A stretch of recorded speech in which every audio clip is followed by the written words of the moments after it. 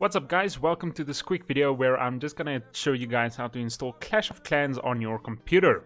So the first thing we need to do is we need to install an Android emulator on your computer. So the place where you can do this is the one I chose is LD Player, but you can use BlueStacks or there are lots to choose from. So then what you want to do is you want to copy that and that link will be down in the description for you guys as well.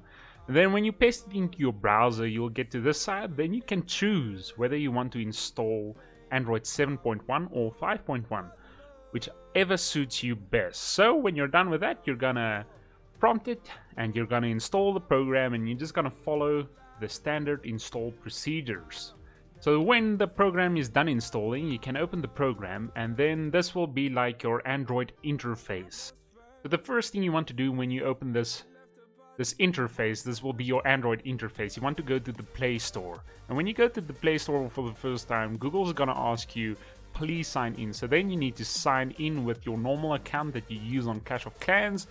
And then we can just go to Clash of Clans. And yes, I know how to spell. Then you just install and then it's as easy as that. And then when you open it up, Clash of Clans will ask like, listen, we see you have a, a a version where you're further along, would you like to use that one? Then you just say yes, and then you make it full screen, and there you go. Now you can play Clash of Clans on your computer.